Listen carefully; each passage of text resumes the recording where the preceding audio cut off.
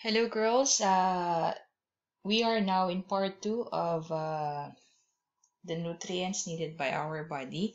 So the first is carbohydrates. I discussed that one in part one, and then now let's continue. I'll be discussing to you fats. Fats, like carbohydrate, fats are energy containing nutrients composed of carbon, oxygen, and hydrogen. When you're going to write that one in a molecular formula that is COOH. For carbohydrates, I discussed a while ago that is CH2O. For fats, this is the molecular formula. Now, however, 1 gram of fat carbohydrates, uh, 1 gram of fat provides 9 calories. So this is uh, more than the carbohydrates. That's why when you are eating fats, it provides longer energy. Okay. So compared to carbohydrates. There are kinds of fats. Okay, the kinds of fat are three. They are saturated kinds of fat, unsaturated, and trans fat. Before I discuss the kinds, I will discuss to you the functions of fats. What does fats do to our body? It provides longer energy compared to carbohydrates. At the same time, it absorbs vitamins such as vitamin A, vitamin D, vitamin E, and vitamin K. We call it as fat-soluble vitamins. I will discuss this further in the presentation tomorrow. Now, it also keeps our body warm and it protects our nerve. Have you observed, girls? Uh, this is the issue in our classroom turning off and turning on the AC. If one of your classmates is thin, okay, and then she sits near the AC, and then she said, Teacher, it's cold. And then the other fat student, I will not name, okay? And one fat student will say, I'm not saying that you're big, I'm just saying you have more fat content in your body, okay? I'm I'm not bullying you, girls, okay? I'm just saying example in science. Thin student will say, Teacher, I feel cold. The other student will say, Teacher, it's hot. Don't close the AC. Okay, in science, this is the reality, girls, in science. Fat student will feel warmer compared to thin. Why? The fat content of fat student has more because fat keeps your body warm. Okay, so if you are thin, you feel colder because you have lesser fat content in your body. Okay? So, which is better, teacher, to be fat or to be thin? You need to be neutral. You need to be in the middle. Okay? Not too fat, not too thin, but in the middle. Okay? Now, that is the function of our, uh, that is the function of fat nutrients. Now, here it says the kinds of fats. That is three, right? Let's summarize this one in this slide kinds of fats. Saturated fats are the fats that you can you could find in meat and other animals.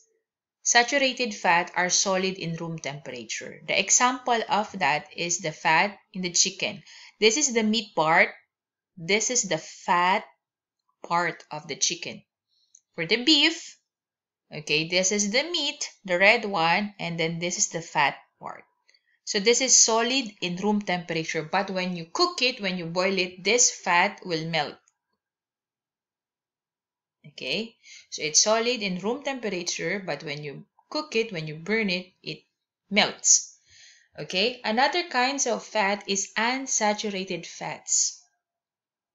These are found in plants and fish. So this is liquid in room temperature. Example is the fat in the fruit of avocado and then in fish. You can I, actually you could buy in pharmacy like avocado oil. You could also find fish oil and then uh, olive oil in supermarket. Okay, so that is an example of unsaturated fats. Trans fat, this is fats found in a greasy margarine and butter. Where can you find it, teacher? Remember, girls, when your mom is cooking a pasta and then she used butter for sauteing, you will find greasy uh, wax here when the pasta cools down. Okay, that thing is called trans fat. And trans fat, when you consume a lot of trans fat in your body, it can cause heart diseases. This is the normal artery of our heart. Okay, inside our heart, there's a tube. We call that tube as artery. Okay, this is normal. As you continually eating trans fatty food, like battery food, okay, battery meaning a food that has a lot of trans fat, like uh, pasta, okay, you know, pasta when you cook it in butter, it has a lot of grease. Okay, when you continually eat greasy food, okay, fat will build up like this one. Okay, when you continually eat, the yellow one is the fat. Okay, and then this is the worst. Okay, the buildup of fat can cause block in the heart artery wall. And if that happen, it can cause heart attack. That can result to death. So we better eat in a right amount. It's not bad to eat, but we need to eat like this food in a right amount. Not overdo. Not overdoing it. Okay, now let's go to this page. Fats in common food.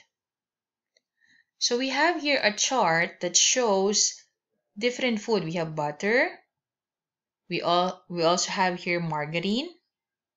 And then we also have here olive oil. Okay? Now the question here do you think olive oil is less healthy or healthier than butter and margarine? Explain.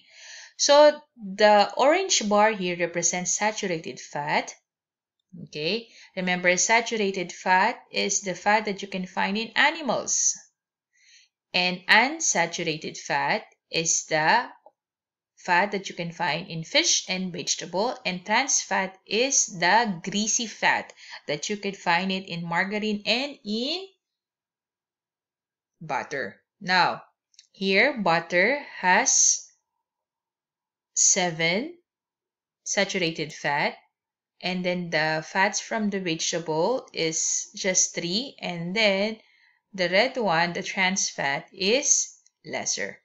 Okay, in margarine, okay, so the saturated, meaning the one that the fats that you can get in plants is 9, almost 9. And then the fats that you can get from the animal is around 2.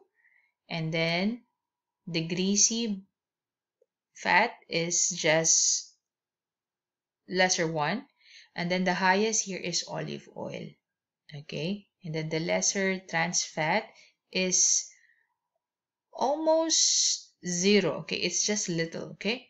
Now the question again do you think olive oil is less healthy or healthier the answer is it is healthier because it has the least trans fat and the most is unsaturated fat. Because actually, girls, trans fat is really harmful to our health. That's why we need to take it in minimal amount, in a small amount. Okay, so if you're trying to cook using these three three uh, fats, it's better to use olive oil compared to butter and compared to, compared to margarine because it is plant-based the same time, the, the trans fat is very less. Okay, now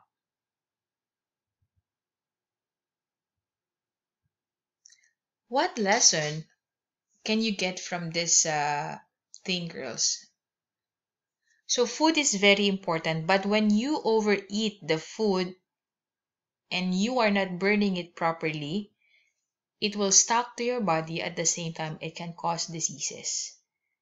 Okay, so enjoy your food in proper amount. At the same time, we need to burn it.